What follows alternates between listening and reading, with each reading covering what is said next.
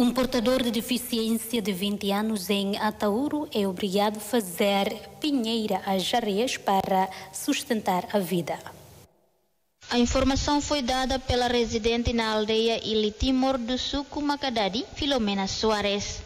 Filomena Soares sente-se triste por ver o portador de deficiência, Moisés da Costa Alves, é obrigado a fazer pinheira às areias para sustentar a economia familiar. Pede por isso à autoridade comunitária que prestem atenção perante a condição dos portadores de deficiência em Atauro, de modo a apoiar a economia deles. Segundo o portador Moisés da Costa Alves, o trabalho é considerado muito forçado, mas infelizmente deve fazê-lo para sustentar a economia da família.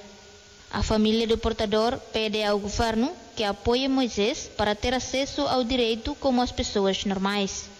Respondendo à preocupação, o Serviço Técnico do Instituto Nacional de Segurança Social do município de Atauro, Júlio Valente Soares de Araújo, considera o assunto e vai confirmar com a autoridade para ver a situação.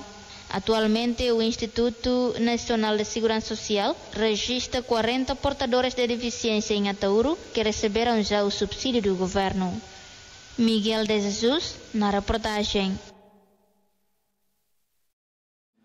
Hej, telespectadores atuhedan informação atuais no factuais que tá lua inscreva. No hanehan botão notificação, pode for comentário no fahetutan, ba merecelo.